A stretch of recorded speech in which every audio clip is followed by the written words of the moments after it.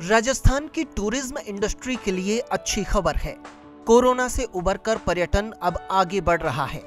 इस साल फरवरी से 16 मार्च तक प्रदेश में साढ़े चार लाख से ज़्यादा पर्यटक आ चुके हैं। इस महीने इस संख्या में और इजाफा होने की उम्मीद है। प्रदेश में जनवरी से अब तक पर्यटकों की संख्या 15 लाख के आंकड़े को पार कर गई है। कोरोना के चलते पिछले साल 18 मार्च के दिन ही जयपुर के तमाम पर्यटन स्थलों को और सफारी को बंद कर दिया गया था। इससे न केवल टूरिज़्म इंडस्ट्री को, बल्कि होटल व्यवसाय को भी करोड़ों का नुकसान हुआ था। लेकिन आज ये पर्यटन स्थल पर्यटकों से गुलजार नज़र आ रहे हैं।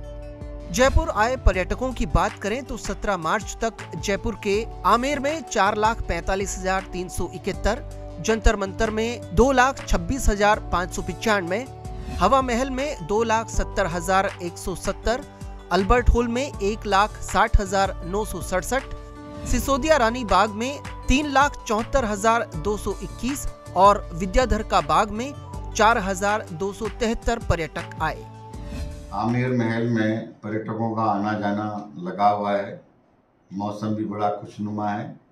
ऐसे में पर्यटक आमेर महल को बड़ा पसंद कर रहे हैं।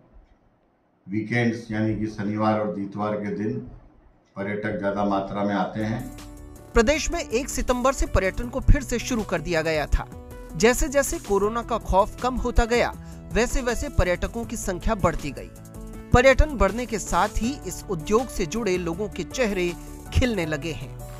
ईटीवी भारत के लिए जयपुर से करण तिवारी की रिपोर्ट।